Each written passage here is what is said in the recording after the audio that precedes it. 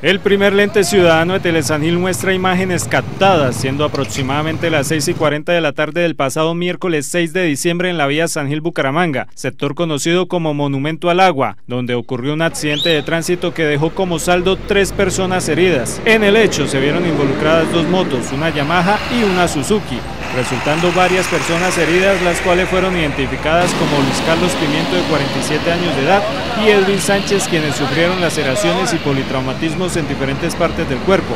Además, Airo Quiñones, de 46 años de edad, presentó politraumatismos y laceraciones, especialmente en el rostro, con posible fractura de tabique. Los lesionados fueron auxiliados por unidades del Cuerpo de Bomberos Voluntarios, siendo remitidos en ambulancia al Hospital Regional de San Gil.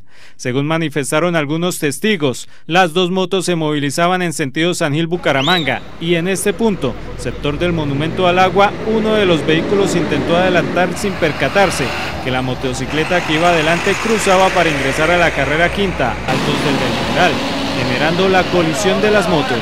Al lugar hicieron presencia agentes de la Policía Nacional Estación San Gil Seccional de Tránsito, quienes adelantaron el debido proceso e indagaciones para determinar las reales causas que generaron esta emergencia.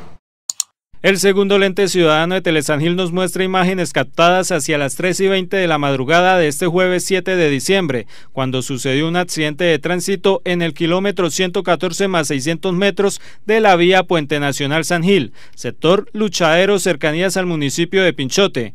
En el hecho, un camión de placas SNR 399 que transportaba alimentos y se movilizaba en sentido Bucaramanga-Bogotá se salió de la vía colisionando contra un barranco. Por el percance no dejó personas lesionadas, solo daños materiales. Las autoridades competentes, Policía de Carreteras, investigan el caso para determinar las reales causas que generaron la emergencia.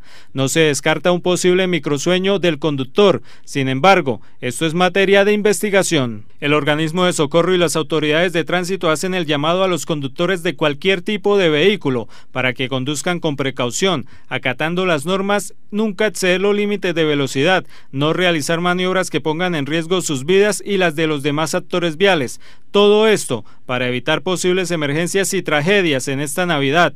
Recuerde que en casa lo esperan. Agradecemos a las personas que envían sus fotografías y videos al ente ciudadano de Telesangil e invitamos a que hagan públicas sus noticias o denuncias enviando la información al WhatsApp 300 445 4846.